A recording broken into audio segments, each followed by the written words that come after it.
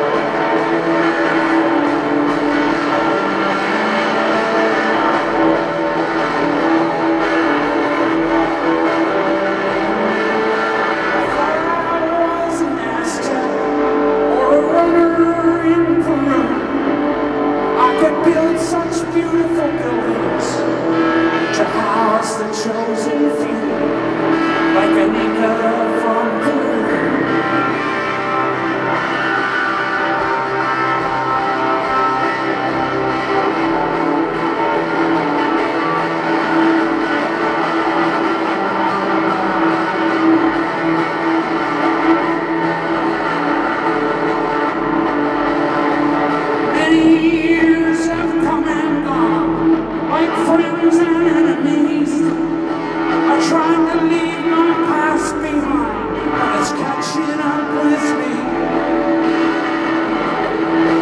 I don't know how I'm standing here, living in this life. I'm thankful for my